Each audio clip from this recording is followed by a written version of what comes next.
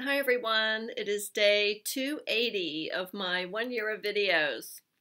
This afternoon I was on a video chat with some other people and one of them has an online business where she's going to be offering a Zoom call tomorrow night and she voiced her concern that nobody would show up.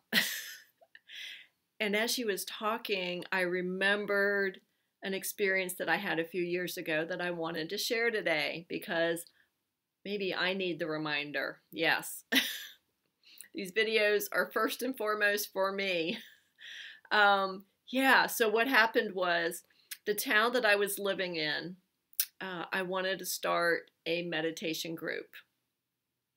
And, you know, the perfect space showed up and I told friends about it, you know, and people I knew and everybody seemed so excited about the idea, only nobody came. week after week, I went to that place and I meditated by myself. Yes, I didn't just leave.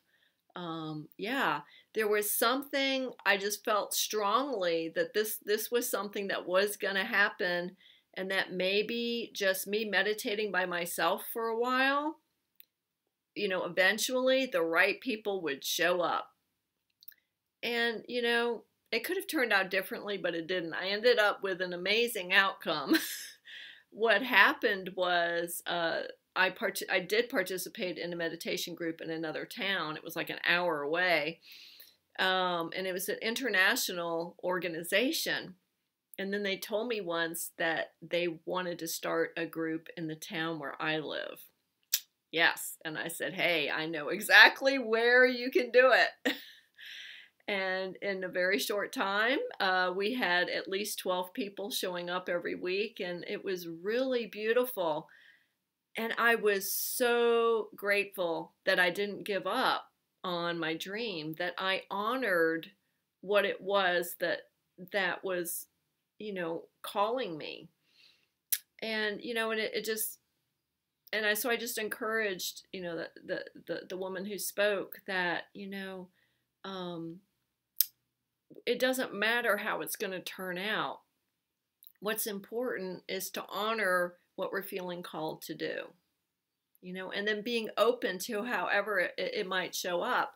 And it may not look the way we, you know, we would like it to or the way we think it should, um, be. You know, oftentimes we have gifts that we want to share with the world and we're not acknowledged for them. But that's not what's important. What is important is expressing what wants to be expressed and doing whatever it is that we feel called to do because it's honoring ourselves and and you know we're just being who we are and I love that. Yeah, so I needed that reminder today. And I would like to hear from you. So you can post in the comments. I'd like to hear about something that you persevered through. Or if you're struggling with something right now, go ahead and write that down. Sometimes just getting it out there um, can help things to shift. All right, I'll see you all again tomorrow.